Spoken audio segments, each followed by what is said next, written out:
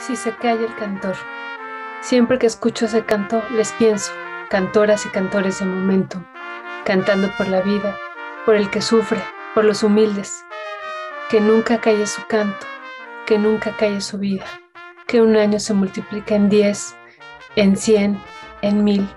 Les quiero, gracias Ernesto, gracias Alberto, gracias a la audiencia por esta linda fortuna de pertenecer a esta hermosa comunidad. Felicidades.